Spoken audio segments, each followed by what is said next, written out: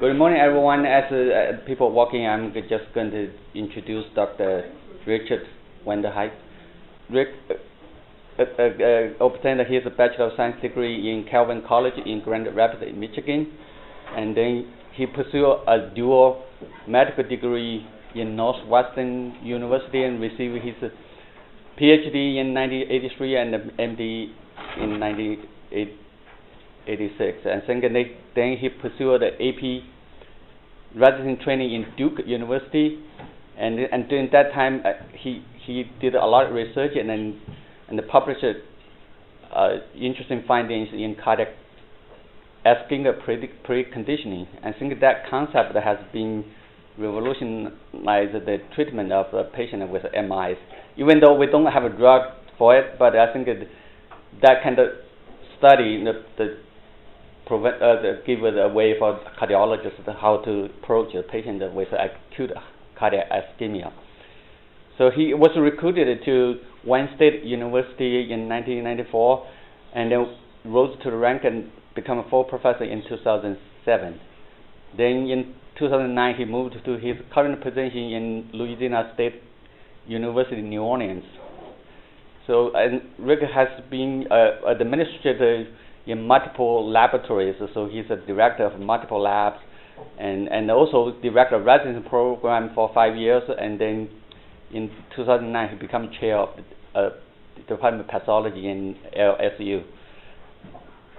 And, Rick has uh, is a very productive uh, scholar. He published innovative research in, in cardiac cell injuries, the, mainly ischemic and adaptations and uh, he he's, he he he has been served in multiple uh, uh, study sections and also review panels, and then and he's a great teacher. And has every year, almost every year, won award for medical student teaching, and uh, today he's going to talk about amazing structure in the heart, and the most probably dedicated, delicate, and also durable structure. Never fails. I think, yeah. So is cardiac skeleton.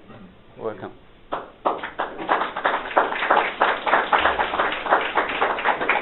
Well, thank you very much for inviting me. Uh, for those of you who are worried about the weather, um, I'm in New Orleans, and for the month of September, now think about this, we had one day where the high temperature was less than 90, and that was 89 so we've had an extremely hot, dry fall, and so it's very nice for me to be up here where it's actually cool. I, I showed up yesterday with no coat on. People thought I was crazy, but it was it was good. All right, so let me see if I can figure this out. So what I want to talk about today is a lot. It's, it's kind of an historical um, trip through what I've been doing for the last 25, 30 years. Um, see if this is the right one. Nope. Oh, that's the pointer. Oh, this one's not working. Okay, so I'll just do it this way. Or maybe I'll do it this way. Okay. So what I want to do is just give you some historical perspective on ischemic injury, and then I'll spend the time talking about what I've been involved in, and that's the cytoskeleton. I got into this, interested in this early in my career, and so I'll show you some of the early studies that we did, and then later um, as Faquan was saying, we, we got involved in ischemic preconditioning when I was doing my postdoc and, and residency training. So then I started looking at the cytoskeleton from a different perspective um, as, as a functional, uh, important functional signaling. So as you well know, um, ischemic heart disease, despite um, all, the, all the work that's been done over the last 50 years, still leading cause of death in the U.S.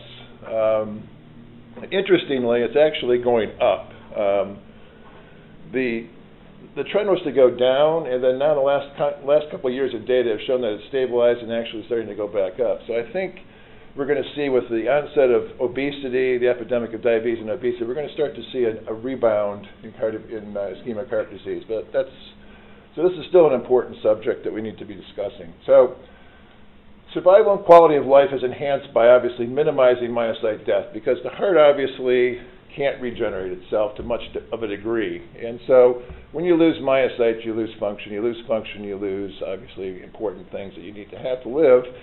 And so really the way that we've approached ischemic heart disease over the years is to try to increase the survival of myocytes.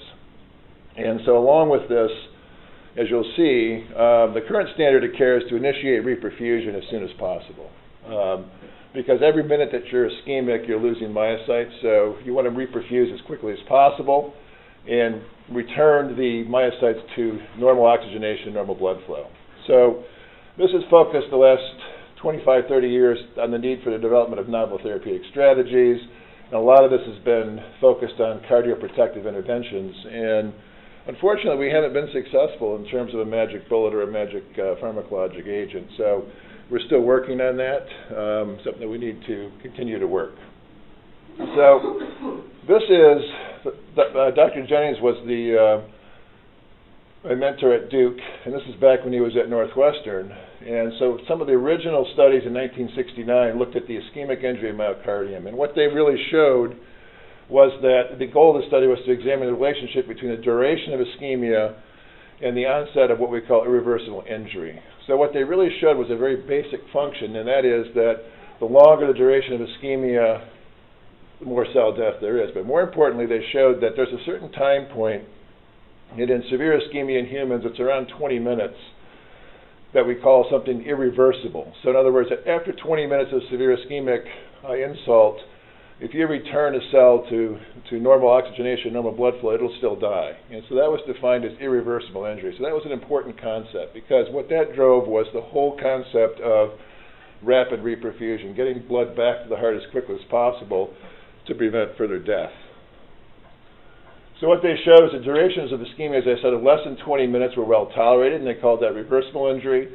And cell death progressively increased as the duration of ischemia extended beyond 20 minutes, and they called that irreversible injury. And what they showed, and what has, um, in those days, electron microscopy, believe it or not, was really the state of the art. And so they did a lot of electron microscopy studies. And so what they did is in, the, in these um, seminal studies is that they showed that Irreversible injury is associated with disruption of the membrane, the sarcolemmal membrane, the formation of what we call contraction bands, and importantly, what we call dense intermitochondrial granules, which were a marker of irreversible cell injury. So it was very much a morphological based study. So this is my mentor, uh, Charles Ganote, unfortunately passed away several years ago. But he was working with another person, uh, John Kaltenbach at Northwestern. They were looking at something called the oxygen paradox. Um, so what they were looking at is the taking away of oxygen and reintroducing oxygen caused uh, cell damage.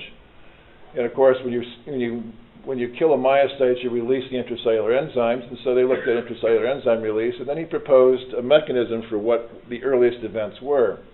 The goal of the study was to determine these early morphologic events which occur in irreversibly injured cells after the reintroduction of oxygen. So what they did is they focused, instead of using ischemia, because ischemia is blood flow and oxygenation, so they focused specifically on oxygenation component of it. So that's what the oxygen paradox really is. So what they used was an isolated uh, perfused rat heart model, and the hearts were subjected to 60 minutes of anoxic perfusion without substrate, and then they were uh, introduced to varying durations of reoxygenation they looked at cell death and morphology of injury, and they assessed it at different time points. So here's the model system. This is a perfused uh, rat heart. This is what a rat heart looks like. They're about 0.5 to 1 grams, depending on the size of the rat. And here's what happens when you uh, introduce significant injury to a rat heart. You get an effluent release. This is actually myoglobin, obviously. As you can see, it's red, brown. But what we did was we measured with a, an assay kit uh, creatine kinase, which of course until until recently was used clinically to measure uh, myocardial infarction in patients. And so what they really just what they focused on was this is morphology. Yeah, this is electron microscopy. You can see the mitochondria, the Z lines. Uh, these are the, the contractile elements. So you see the Z bands, the A lines, or the uh, A bands, the M and what you can see is they focused on something called the intercalated disc. Okay, so you can see these intercalated discs. And these are the connections between myocytes. And what they showed with reoxygenation is that there's ripping and tearing of cells apart from each other at this intercalated disc region where they're connected. And they also showed that the membrane lifts off the surface of the cells and actually has holes in it. So what they proposed was that the earliest changes were due to a contractile or contraction of the myocytes. So when you reintroduced oxygen, they tried to contract, and because there was a, an injury from the anoxia, the cells ripped themselves apart. And so it was called the physical disruption hypothesis, and it's been attributed to Ganote for a long time. So here's where I walk into the door uh, in, in the 80s. At this time, what we did know is that irreversible cell injury and cell death in myocytes was associated with cell swelling, contraction bands, mitochondrial calcium densities, uh, enzyme release, and depletion of high energy phosphates.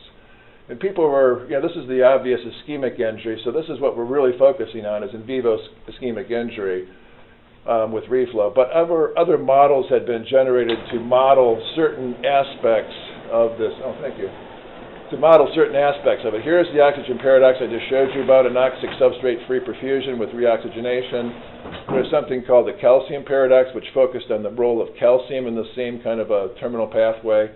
And then also there was people looking at catecholamine toxicity. So this is what we what we were trying to figure out is how does this end up from all these different model systems all coming together in a, in a, in a common pathway. So the problem was we had an incomplete understanding, really, of ischemia reperfusion injury. And so we really wanted to know, when I got into the laboratory, we still really didn't know how does ischemia reperfusion kill myocardium. And so because of the studies that, that Ganote had done with Kaltenbach, it became clear, at least to us, that um,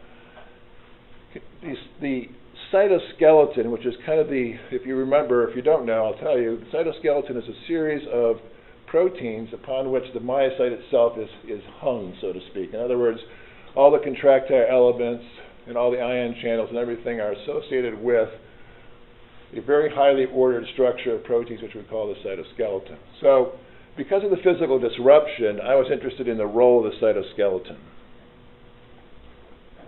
And so this is one of the studies that I first was involved with uh, when I was doing my studies at Northwestern with Dr. Ganote. And what we, we, we called it was increased myocyte fragility found, uh, following anoxic injury. So our concept was that anoxic injury was causing some kind of a latent lesion, such that when you reintroduced blood and oxygen in ischemia, introduced just oxygen in the oxygen paradox, introduced calcium in the calcium paradox, what was happening was you were exposing an underlying weakness in the cytoskeleton. So that's, excuse me, that's what I was working on. That was our hypothesis, and that's where I stepped into this. And so our goal was to determine if anoxia caused these cytoskeletal lesions that could predispose myocytes to irreversible cell injury. So we used kind of a, um, a clever design um, because if you remember, most of these, um, well, the models that were in, in, in place at that time were uh, ischemia itself, or oxygen paradox, or calcium. But we wanted to to find out if we could show there was a latent lesion without reintroducing blood, without reintroducing oxygen. So we had to find a mechanism so that we could expose this latent injury that we hypothesized was occurring. So what we decided to do was use good old uh, physiology and use hypotonic cell swelling.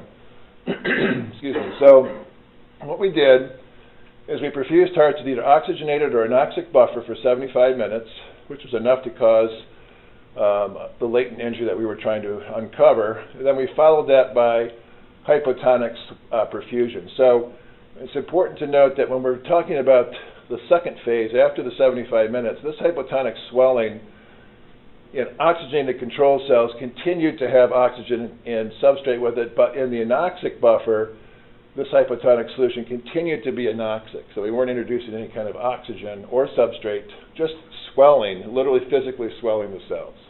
And so we looked at the morphology and extent of injury, looked at CK release. And we also, and this was kind of, at the time, kind of a cool thing. We were starting to get more immunofluorescent antibodies that we could use. And so there was actually some antibodies that had come available that were um, targeted to cytoskeletal proteins, specifically vinculin. And so we had access to a vinculin antibody, so we used that uh, to see if that had changed. And tried to correlate that with what else we saw, which was the CK release and the morphology. so, excuse me. So these are pictures taken from that study. That's why they're labeled 10 and 11. But on the left here is a swollen control heart. So this is one that was perfused with oxygenated media for 75 minutes, followed by 15 minutes of oxygenated cell swelling with 200 milliosmol buffer. Now notice that you can see the cells are very swollen, okay? The sarcolemma is deeply scalloped, but it's, it's stretched, but the intact, there's intact Z and M band attachments, okay? So the Z band and the M band, here's the M and the Z bands are intact, okay? And here's at a higher level, you can see again, scalloped membrane, you can see that the there's connections here, and we and we were fairly certain these were these were cytoskeletal proteins because of what we knew about the cytoskeleton. So this is what the cytoskeleton does. It provides this structure to the myocyte. So you can expose this by swelling the cells, and this is a situation where we had oxygen. so these cells did not release creatine kinase, did not die, but were swollen. Now, in contrast, and we did this with anoxic hearts, same 75 minutes, but this time using anoxia and no substrate, and then hypo, uh, hypotonic perfusion, you can see that we broke these, these connections. We broke the membrane, so the membrane is now freely floating and has holes in it. And this is what um, leads to creatine kinase release when the membrane is broken, etc. So what we did is we exposed by simply physically stressing the cell after 75 minutes of anoxia, we exposed a lesion that unless you swell the cells, you would have not recognized. In other words, if you had continued to perfuse that heart anoxic, you never would have seen significant enzyme release. Over time, you might see a little bit, but this really is an explosive release. And so, really, what it suggested to us was that we were exposing a latent lesion. And here's a high power. These, the connections are broken. These are the Z connections. So this was the uh, enzyme release, which is kind of interesting. So basically, follow with me. This is creatine kinase release on the y-axis and the x-axis, is anoxic interval. So let's just pick uh, 75 minutes is what we use. We also do other times, obviously, but we started out with the worst case. So if you look at 75 minutes and look at 250 osmol, which is a slight slight slight decrease in osmolality. Usually 300, 300 is normal, so this is a little bit uh, hypotonic. So you see a little bit of release, but at the same duration, if you use 200 or 150, you can see a massive enzyme release. Um, so same duration of anoxia, just swelling the cells more severely. And if you also see this at different intervals, we did it at 30 minutes, 45 minutes, and so you see this kind of dose response curve of swelling versus enzyme release uh, with anoxic perfusion. So then, as I said, we looked at vinculin. We had access to that. So these are crude studies, uh, but this is what we had in the 80s. And so we looked at vinculin expression. A shows you a control heart. Uh, B shows you an anoxic heart. Um, and you can see that basically the vinculin staining is interesting because it stains a couple of things. It, it stains the costamere junctions, which are these punctate staining along the sarcolemmal membrane. It also stains the intercalated disc. Okay, so these darker stainings here are intercalated disc, and these punctate stainings are the sarcolemmal membrane connections. Now, we'll get more into this. Uh, the second half of the talk, we're much more sophisticated now in knowing what these proteins are at this point. But at this point, all we knew that vinculin was there. And when we looked at an anoxic heart, we could see that a lot of this vinculin was no longer staining. So this suggested to us that we had lost vinculin. And so that the latent lesion that was exposed by cell swelling seemed to be correlated with the loss of vinculin staining. So this confirmed to us anyway that the cytoskeletal lesion is developing that can be expressed.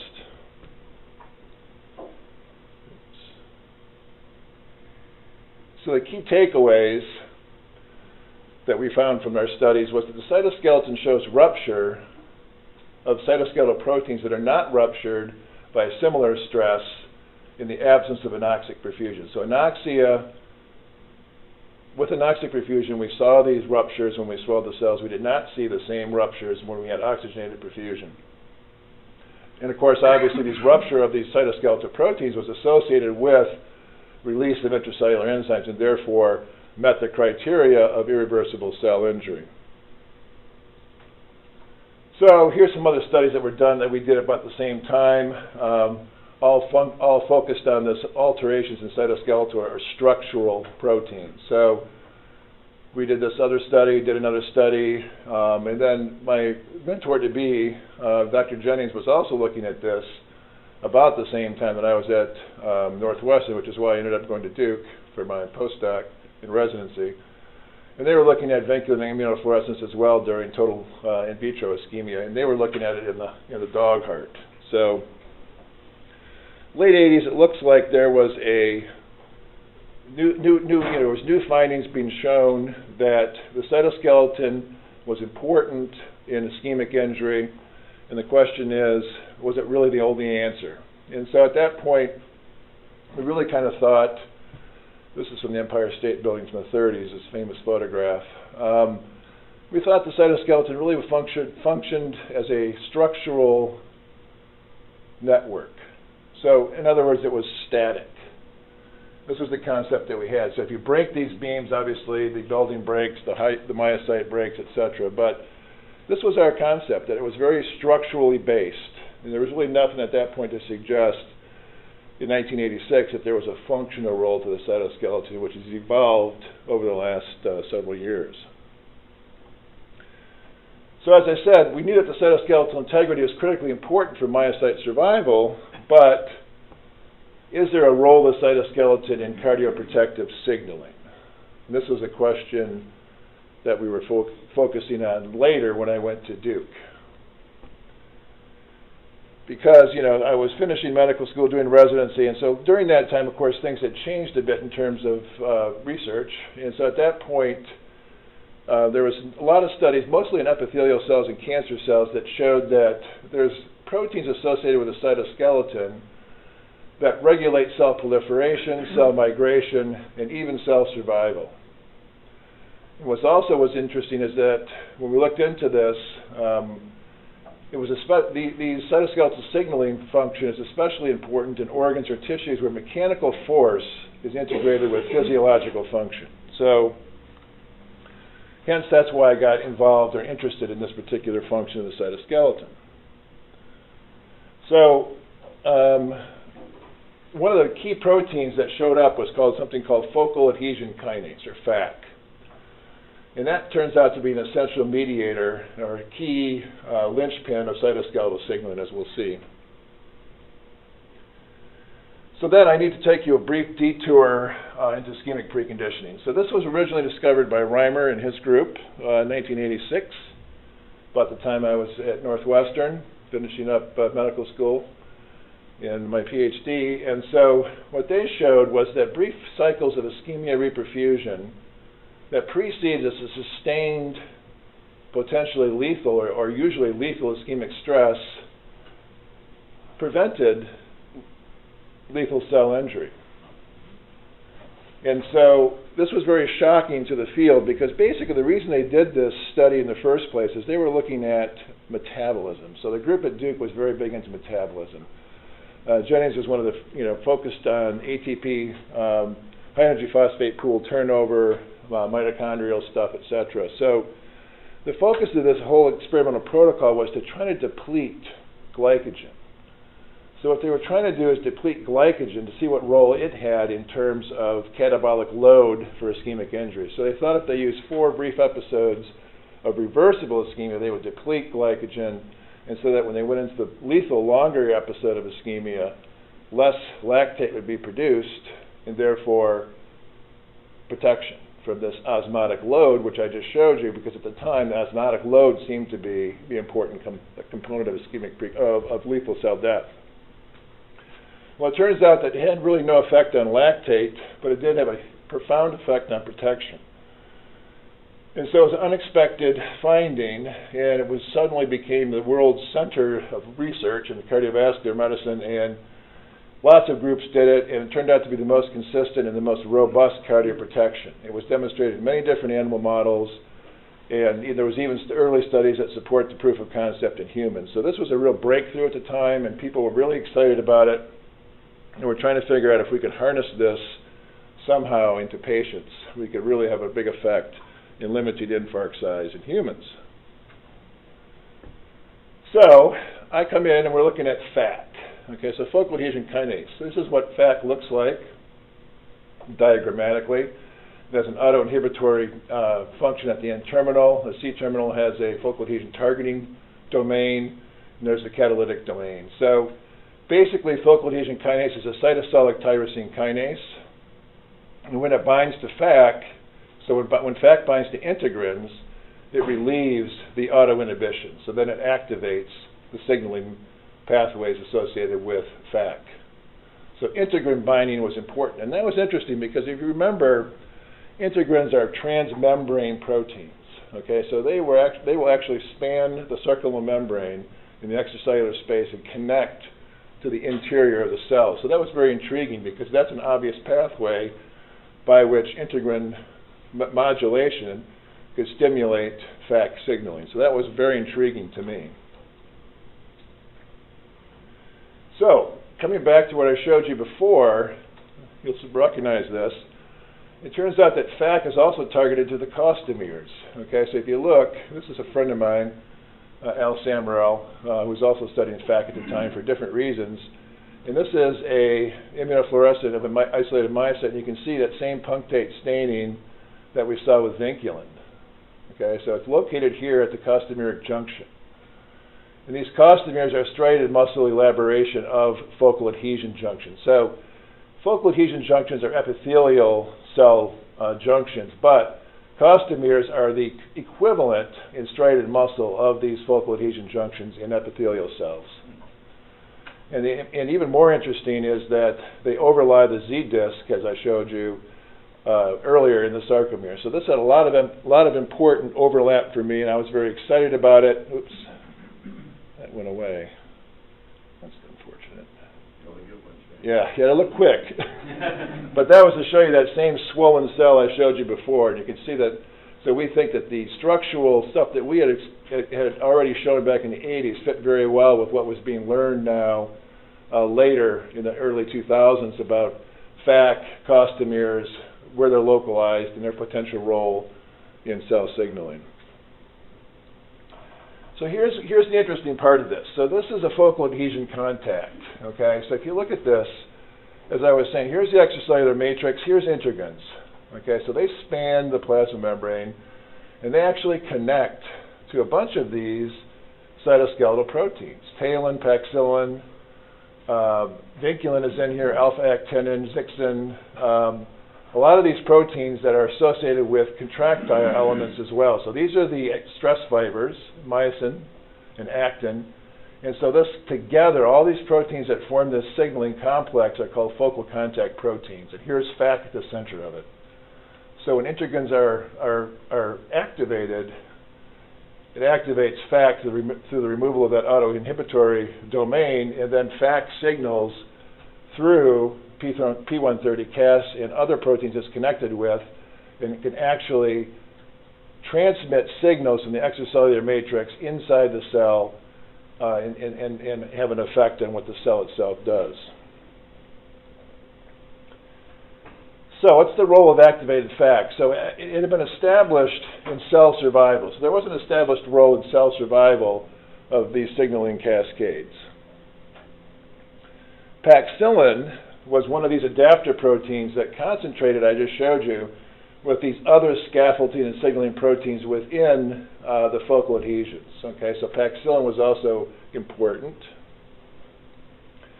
PI3 kinase interacts with activated FAK through its SH2 domain. So the SH2 domain binds to phosphorylated tyrosine residues with high affinity, and that, so we go through this signal, I'll show you in a minute our hypothesis, but you can start to see what's going to happen. So FAK activates, paxillin activates PI3 kinase, and PI3 kinase stimulates AKT signaling. So AKT, or, or protein kinase B, its older name, was well known to show cardioprotect or uh, cell protective function. It's a well-known cell protective function. So this was very intriguing to me. So I thought, well, this makes a lot of sense. FAK through AKT could be signaling the cell through, through mechanisms related to AKT signaling to protect the myocyte. So here was our, our hypothesis. So here's ischemic preconditioning we thought caused activation of integrins. Now this could be through physical interaction. If you think about this, ischemic preconditioning, if you tie off a coronary artery, that the myocardium still contracts for a while, okay? And so when you reperfuse, it also contracts much more vigorously. So there's a real logical way to think about that integrin activation could occur through the physical manipulation of uh, myocytes. And so we have alpha and beta integrins, and they're connected to alpha actin and talin in these in these complexes. And so these focal adhesions undergo an assembly. Um, this is our hypothesis that ischemic preconditioning induces an assembly of these focal adhesion proteins. Okay, so now we've got FAC being attracted to this area, and it becomes phosphorylated. Paxillin's involved with it, and then PI3 kinase gets activated through the activation of FAC. It becomes phosphorylated, and it leads to AKT phosphorylation. And AKT phosphorylation leads to increased cell survival. So that's the basic mechanism that we were operating with when I took over my first position at Wayne State, 1994. So I'd worked with the group in Duke, learned about ischemic preconditioning, did a lot of studies there. And now, as I'm transitioning into my first academic position as an assistant professor, this was the mechanism that I was interested in, in pursuing. Okay, so um, I'll, I'll, fast forward here so we save some time. Um, so when I got to uh, to Wayne State, we did a bunch of stuff looking at the role of FAC and AKT in cardiac protection. So the first thing we showed in cultured neonatal rat my, uh, ventricular myocytes is we used a protein which is a competitive inhibitor of FAC called FRANK, and we showed that we disrupt the integrin FAC interaction and we worsened myocyte survival. So that was indirect evidence that the interaction between FAC and integrins was important for cell survival, and we, and we disrupted that by this competitive inhibitor, FRANK. The next thing we looked at, we looked at ischemic preconditioning, but in this case we did it in an isolated perfused adult rat heart. Okay, so this is a Langendorf uh, mechanism. But we did show that ischemic preconditioning in that model leads to activation of FAC and AKT, and also reduced, it also reduced cellular injury and provided cardioprotection. So these two studies together certainly supported our role for cytoskeletal signaling and cardioprotective, um, the overall role for cytoskeletal signaling in the cardioprotective signaling pathway. So then the question became, um, as I left there to go to LSU, the question became, can we extend these findings into a more relevant model of ischemic reperfusion injury? And by that we mean an in vivo model. And so the only way to do that, um, and I warn anybody that wants to or thinks about developing uh, transgenic mice, it takes a lot of time. So we decided we were just, you know, we were naive. Well, we're just going to knock out FAC. Um, so we wanted to make a conditional FAC knockout mouse, and this took us probably, I'm going to say, two years. Lots of trial and error because you know people publish studies and say, well, you know, there, there was obviously at this point there's available um, in, inducing um, agents. There's there's the Mer which is um, actin restricted, you can use tamoxifen to activate it, and everybody just publishes this like it's no big deal. And so you take their doses, you take their, and you start doing it, and you find out there's all kinds of things they don't tell you about. So it took us a long time to do this. So anyway, the hypothesis was that a cytoskeletal-based cell survival signaling pathway is activated at the level of the myocyte in response to cellular stress. And so if that's our hypothesis and we want to test it directly, so then obviously our hypothesis would suggest that if we knock out FAC, we should not be able to produce the protective effect of ischemic preconditioning. And so we did this. We were the first lab to do this, and I just told you how long it took us. So we used the alpha myosin heavy chain Mercury-Mer system to delete conditionally FAC uh, in adult mice. Now, the reason you had to do this is because a embryonic knockout is lethal, so you couldn't just knock out uh, FAC in the in the embryonic mouse because it wouldn't survive to adulthood. So, we wanted to do this in a cardiac-specific manner. The advantage of the alpha myosin heavy chain Mercury-Mer uh, element is that it's, it's the knockout can be restricted to cardiac myocytes. It also has a tamoxifen responsive element so that you can activate the Cree uh, with tamoxifen administration, which is easy to do in the water or the food, whatever you choose to do. And of course, what we needed to do is take advantage of the fact that the third exon of FAC uh, was flanked by LOX-P sites, so we could knock out uh, FAC uh, by knocking out by by the surrounding of the third exon by the LOX-P sites, and that would be knocked out with our our modification.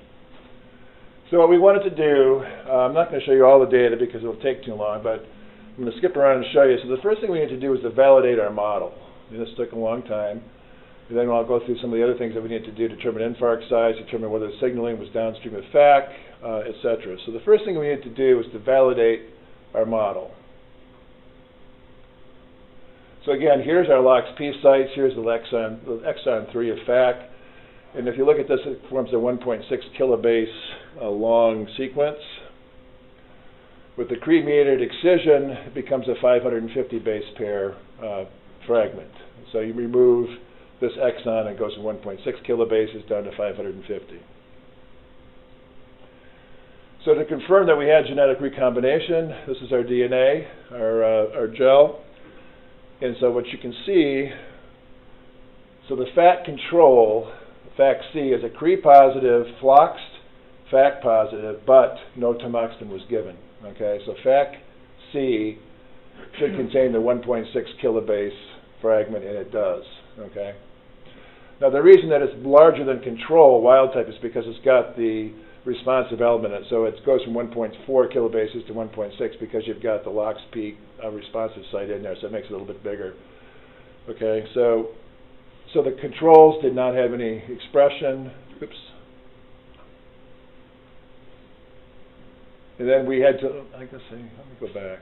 I thought we had another slide here. So there should have been another bullet down here. So basically then we did this in a tissue-specific manner. And, we, and if we add, so we have the same element here, the knockout would be this, but we would act, add tamoxifen to activate the uh, excision. So when we do that, we can see that in the heart specifically, we generate the 550 base pair fragment that we're looking for to show us that yes, we've, we've successfully excised the uh, the FAC exon. And here it shows you that lung, liver, skeletal muscle, and aorta uh, as control tissues did not show this, so it's very it's restricted to, to myocytes. So then, um, this is an interesting little thing that we discovered as well. Should have thought of this. Um, but you know, FAC is, expo- is expressed in more than just uh, myocytes. So when we were looking at grinding up the heart looking for FAC, um, it, it, wasn't easy to determine whether there was a loss of FAC. So what we ended up needing to do is to isolate the myocytes itself. And so when we did that, um, to isolate just the myocytes, because of course there was a, a, a myocyte-specific knockout, here's the wild type uh, FAC. It's about 125 kilodalton protein. Here's the experimental control, and here's the knockout animals. You can see that we knocked out essentially all the FAC uh, in the myocyte population and the controls were uh, Cre positive, FLOXFAC negative, but were treated with tamoxifen. Okay, so they were, they got the tamoxifen, they just didn't have the FLOXFAC element, but they also had the Cre positive element as well. All right, so we determined that we, you know, we generated this model. It was appropriate. We knocked out specifically the myocyte, the FAC. And so the next study, the next part of the study was obviously to determine whether infarct size and precondition and non-preconditioned FAC knockout mice was different.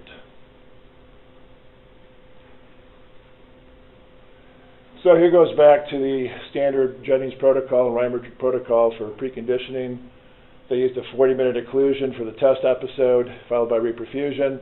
Ischemic preconditioning is a series of five minutes of ischemia and five minutes of reperfusion. We use three cycles, followed by 40-minute occlusion, and then reperfusion. So if all goes well, as I'll show you, when you do preconditioning, the amount of necrosis that you measure after 24 hours of reperfusion in this group is much, much less than it is in the control group. So that's what we would expect. So our experimental design, we had wild type, we had experimental controls, which were Cree positive, flox fact negative, but treated with tamoxifen to control for any tamoxifen effects. And then the fact knockout group was Cree positive, flox positive, treated with tamoxifen. So this is the group that we, we would knock out fact in the myocytes. In all L groups, we did control and ischemic preconditioning. All right, so here's the, the data. Of course, in any infarct, experimental infarct model, you need to control for area at risk to make sure there's, uh, the, the amount of myocardium at risk is the same between your groups, and indeed it was. These indicate the number of animals in each group. Wild type control, control versus preconditioning, the area at risk was the same. You know, the same, uh, it was the same in all three uh, basic groups. Here's the money on a slide because here shows you the control of the infarct study. So this is the infarct expressed as percent area at risk. Wild type control, right around 42% of the area at risk was necrotic after the 40 minute occlusion. With preconditioning, it's reduced down to 20. So it's around a 50, 60% reduction in infarct size.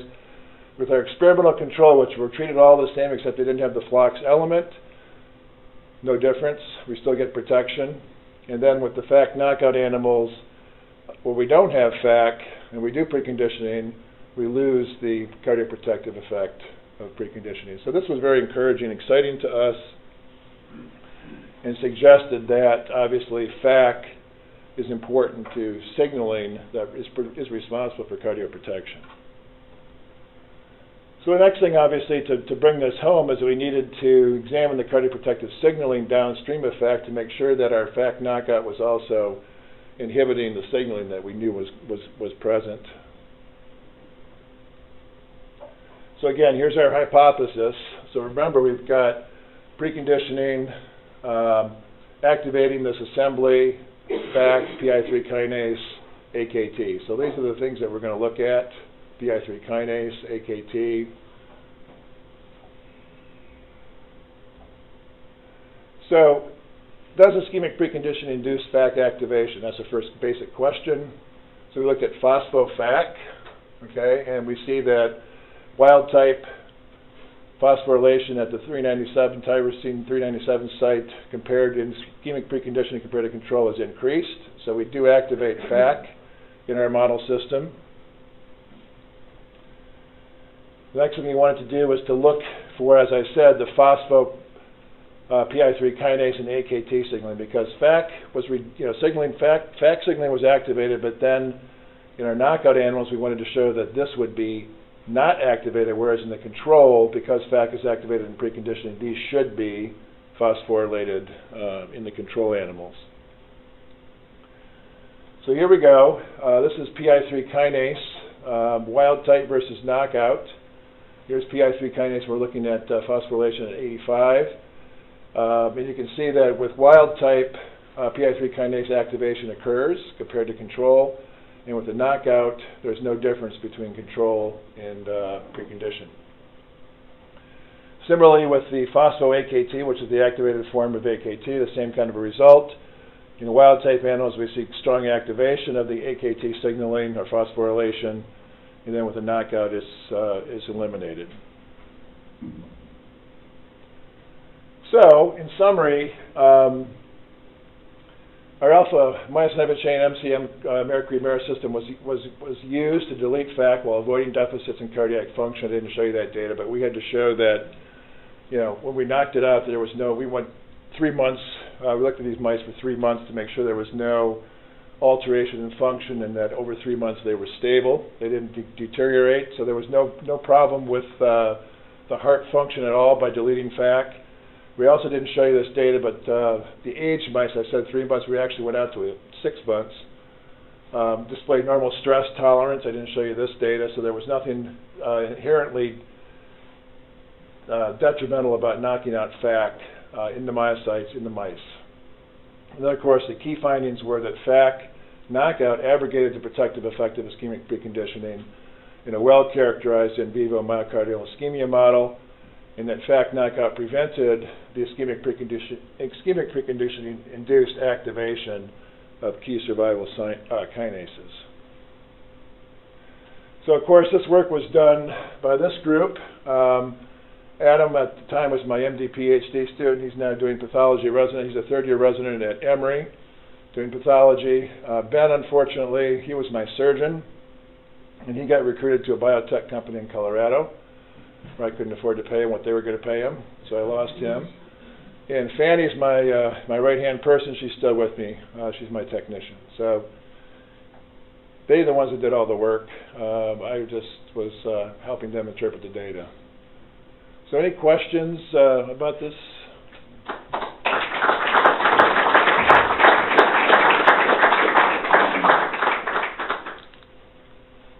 So basically, give you my feelings on the cytoskeleton, what I haven't shown you is a bunch of stuff I did back at Northwestern, and this will tie into the people.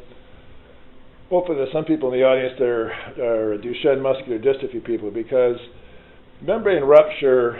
Um, at the time in the 80s, we thought about it was the sine qua non of, of, of cell death, and um,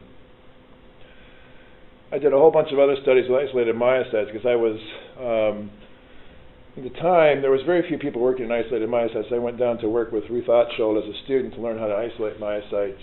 And so, and of course, my mentor, Gnot, was interested in contraction and contraction band formation. So we did a lot of studies in myocytes. Um, for different reasons, looking at ATP dependence of contraction formation and things. And what we found was very interesting and hard for me to understand at the time. But if you if you take isolated myocytes, you can round them up. Okay, there's three basic forms to a myocyte. There's the rod shaped normal form. There's the square shape. There's also a round ball type. And we always considered the rounding up would be cell death because you would be contracting the myocyte and it would it would rupture and die. Well, it turns out that's not true. When you first round them up, um, they're still functional. So the contraction and the distortion of the membrane by itself is not enough to kill the cell. What really is important is the combination of high energy phosphates, calcium, the interaction between all three of those things, the membrane integrity, the levels of ATP, and the levels of calcium. So there's like this window where you can actually titrate calcium and ATP. That's what Ruth Ottschild was doing, um, where you can have a cell with a membrane break and it's still not dead because of you control the ATP and calcium levels. So there's the cytoskeleton. When I was in the 80s, I mean, we thought it was all that. In other words, if you broke a membrane, a cell was dead. There's nothing you can do. But I'm not so sure that's the case. I think if you break a membrane, um, at least for a period of time, if you can prevent that cell from dying, it might be able to repair itself. Uh, the membrane could reseal itself. Um, I haven't done those studies, but would be very interested in, in doing some of those studies uh, because I think coming back full circle to where I started, I have new ideas and new uh, things I'd like to test. But anyway, that's that's my story in terms of the cytoskeleton. It started out as being very structural, and then we found a very important cell signaling uh, role for it. So, yeah. How do you transfer some of the data that you get from your experiments to uh, standard clinical care where you have a patient with uh, just a routine myocardial infarction and maybe another patient with myocardial infarction, a arrhythmia who needs to be resuscitated? Can you transfer any of this to the care of those patients? No, unfortunately, we can't. Um, I'd love to be able to. Um, again, when ischemic preconditioning was first defined, it was thought to be the golden fleece. You know, it was going to be the answer to everything. We could figure out what the mechanism was. We could design a drug to activate those signaling pathways, and we would fix everybody. Uh, fortunately, it didn't turn out that way. Um, but remember, preconditioning came along after many, many years of study of free radical scavengers and other things that people had used, neutrophils. People were worried about neutrophils causing, you know, reperfusion damage. Lots of things were going on in the background of this. So when pre- preconditioning came out, it was really innovative in the fact that the heart itself was protecting itself, and so it was very exciting. But unfortunately, we've really never been able to translate um, that to clinical work because obviously patients don't come in before they have a heart attack. Okay, so they come in with chest pain. It's too late. I mean, you've got to reperfuse at that point. I mean, it's not like they're going to come in two days before and say, "Well, I think I'm going to have a heart attack in two days. Can you go ahead and precondition me?" Uh, that would be great, but obviously we can't. Yeah. yeah. In ischemia reperfusion, calcium signaling is the primary, uh, you know, cause that leads to cell death. So I was wondering how a track at uh, the calcium signaling. We haven't looked at that. They haven't looked at the calcium signaling with that. That would be very interesting. Um, you know, people, the FAC pathway which activates AKT, AKT um, has been shown to work through modification of mitochondrial uh, pore transitions and uh, apoptosis pathways. So there's there's downstream pathways of AKT that people have looked at, but I don't think anybody's looked at specifically calcium fluxes or calcium cycling um, in relationship to FAC signaling. That would be interesting. Yeah. So in epithelial cells, the AKT signaling and the uh, adrenaline junction uh, maintenance of the is kind of opposite. Like if you activate AKT, you, you will disrupt the adrenaline junction by disrupting the cadherin complex. Yeah. So, yeah. the, uh, so here, is there any interaction with the N cadherins or AKT in the cardiac lymphocytes? And how does, does that work? Well, myocytes. So it's a good question. So an epithelial cell, you know, so AKT and all this stuff is important in epithelial cells because it's cancer, right? So it's a growth mechanism. So AKT activation is bad because it prevent it allows cells to grow and to continue to be viable. Whereas in the heart, paradoxically, from a cancer perspective, that's a, a positive thing because you want to save the myocytes. So that's the difference. But the, the signaling pathways and the proteins that are involved are, are similar. So that's why when I first put this grant in uh, years ago, I went to a special emphasis panel because I was on study section, and uh, unfortunately, I went to three epithelial biologists, and they said, "We know all there is to know about FAC. We don't need to do this because we know it works this way." Well, point was, no one looked at it in myocytes at that point. But I mean, there's a lot of overlap between the signaling pathways and the proteins. Just curious for the for the focal assembly, have you compared the reverse for irreversible uh, uh, skin injury, whether you when this reverse, reverse if the, the focal actin can be reassembled, so the protein is still there? I don't. That's a good question. I don't know if it's disrupted whether it can reassemble. That's that's an interesting question. Yeah, I don't know. I presumably it would, um, but I don't know. I've never directly tested it. All right. Well, thanks everybody for your attention.